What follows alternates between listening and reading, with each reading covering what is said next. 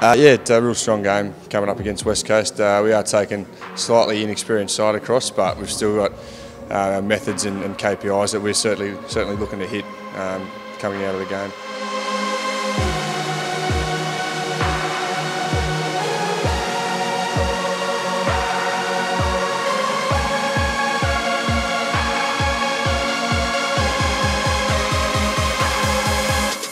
Rockets uh, said on, on, a number of occasions that the, the team isn't cemented, um, so there's a lot of, a lot of young guys who uh, are going to put their best foot forward um, and play the, the, structures and the roles that, that Rocket wants.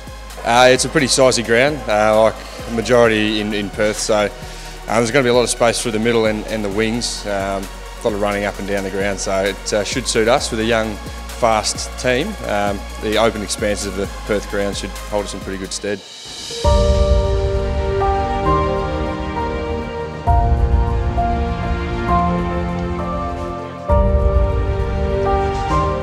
I haven't been back to Perth um, since coming over here, so I'm looking forward to getting back and still still keep in contact with a lot of the uh, the West Coast guys who, who will be playing. Um, looking forward to crashing into them again.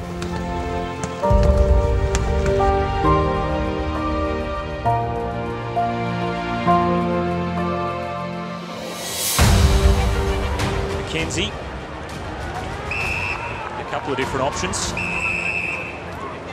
Now Ryan Davis, the former West Coast Eagle, and then protected we see area. that protected area yeah. again. Ryan Davis will enjoy a goal against his former side. He does just that. Spent a couple of years with the West Coast Eagles before going back to play with Swan Districts in the WAFL. Gets another crack at footy with the Gold Coast Suns this season. Tall, can thump this long, goes wide.